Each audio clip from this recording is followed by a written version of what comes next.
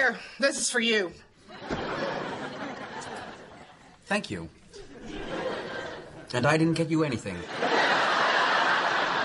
It's your kid's toilet seat. It's obviously in his way, and I'm tired of cleaning it. Oh, come on, Berta. He's 11. He's a pig. Well, I'll I'll talk to him. Well, while you're at it, you may want to mention the half-eaten egg salad sandwiches in his toy chest, the dead marine life at the back of the closet, and the booger collection under the bed. I'll do my best to address your concerns. Don't condescend to me, Zippy. I'll snap you like a butterbean. Excuse me, is one of you Alan?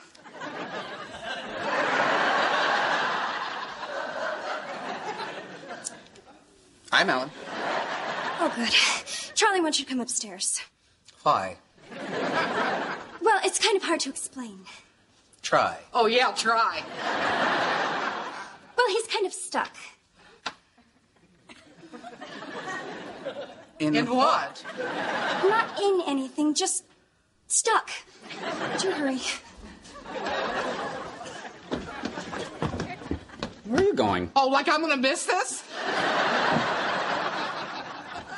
Oh. Charlie? Are you okay? Do I look okay? What happened?